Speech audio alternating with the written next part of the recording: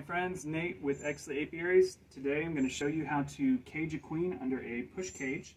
This is one of the ways that you can introduce a queen and have the highest rate of acceptance because basically we're going to take the queen, this is a queen from Texas Bee Supply, and we're going to put her under a cage right above that brood that's about to hatch out. And as that brood hatches out, those baby bees are automatically going to accept the queen they're born, they're born with. So even if the rest of the bees and the rest of the hive are aggressive towards her, these new bees will be her first, uh, these baby bees that hatch out will be her advocates and, and, help her get accepted to the rest of the hive.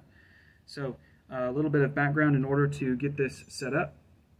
You collect a frame of brood, preferably brood that's about to hatch out. I wasn't lucky with this hive. This, hive, this brood is relatively new. It's going to take them a couple of days to hatch out. Um, but you collect yourself a frame of brood, brush off all the bees that are on it. I have a few stragglers here, but and bring it to a place that preferably is enclosed because sometimes these queens, when you get them, are going to be riled up, ready to fly, and as soon as you let them out of this cage, they're going to be buzzing around, and you're going to be looking like an idiot running around the kitchen trying to catch this $35 bug. So do it in an area where you're confident that she won't get away, you won't lose those $35. I'm outside, I'm a little bit more reckless, Remember, do as I say, not as I do. Um, but yeah, let's get started. Keep handy a little um, can opener. This will take out the staples or your hive tool. Each queen cage comes with worker bees.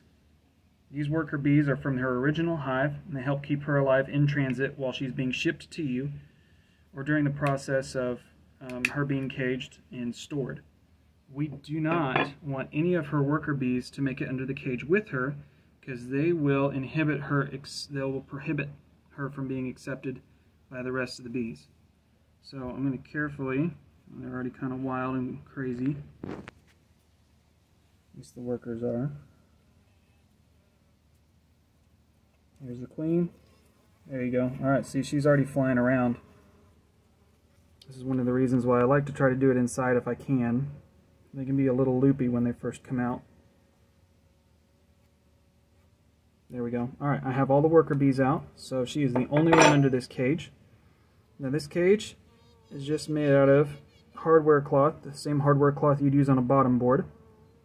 You can make it yourself, but find a frame that has a solid foundation to it. You can see this is a black plastic frame.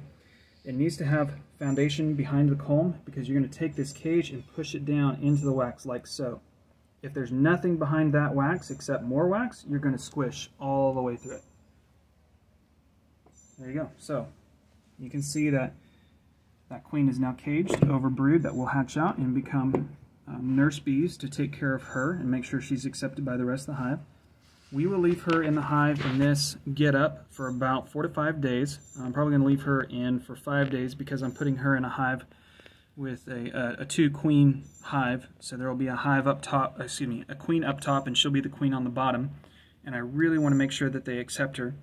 Um, but the beauty of the push cage is that she will have cells to start laying in. And since she's able to lay eggs, that's going to make her pheromone that much stronger. If we were to introduce her in this cage, the cage that she came in, or in one of the little white cages that they sometimes come in, she's restrained from laying eggs. And so her pheromone is only is only um, so strong that way. But once she's able to start laying, then that helps her um, really make her presence known and also make her uh, viability evident to the bees around her and makes them more likely to accept her. So that's how you install a push cage on a frame, and that's how you put a queen under a push cage.